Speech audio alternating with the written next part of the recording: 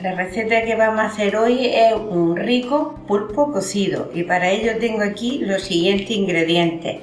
Tengo un pulpo bien hermoso, limpio, que lo he tenido en el congelador un par de días para que las fibras de descongelarse se rompan.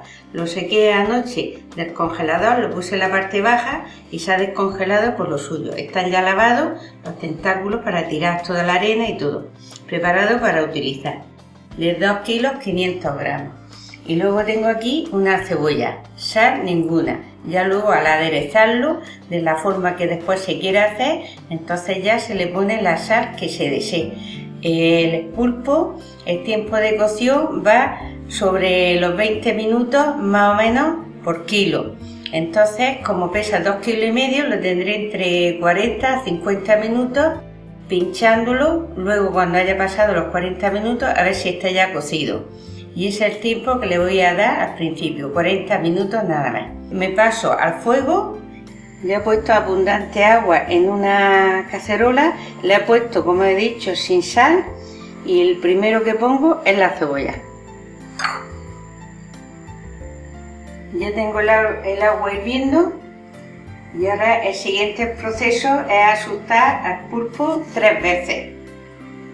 Es que es muy largo y entonces tengo que hacerlo así con cuidado se mete el pulpo 5 segundos y se saca. Se vuelve a meter dos veces. Mirad cómo se va encogiendo los tentáculos y tres veces. Y ya se deja caer poco a poco, por si hubiera demasiado agua y hubiera que retirarle o algo para que no se nos salga. Y ahora cuando empiece a hervir, lo taparé y lo tendré hirviendo los 40 minutos. Mirad qué patas más hermosas tienen, qué rodajas van a salir de aquí.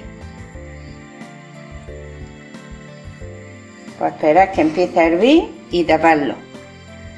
Y los 40 minutos y después lo pincharé. Pues lo he tenido cociendo, como pesa dos kilos y medio, lo he tenido exactamente 45 minutos. Le he dado un poco más de los 40. Y mirad, mirad cómo se pincha y sale perfectamente. El pulpo está ya cocido. Un truco que va muy bien es apagar el fuego, taparlo y dejarlo que se enfríe en su cocción el pulpo cocido ya lo tengo frío, lo he sacado de, la, de la cacerola, en el agua se puede, si se desean, cocer patatas, eso ya al gusto, yo lo tengo preparado para utilizar ya como desee. Esto es una forma de prepararlo y ya después pues puede cortar, ponerle sal gruesa, pimentón, en fin, ya una gota de aceite y tomarlo así tipo gallego, ya cada uno ya al gusto. Yo lo doy por finalizado esta rica receta de pulpo cocido. Os doy las gracias por verme y os mando un saludo muy cariñoso.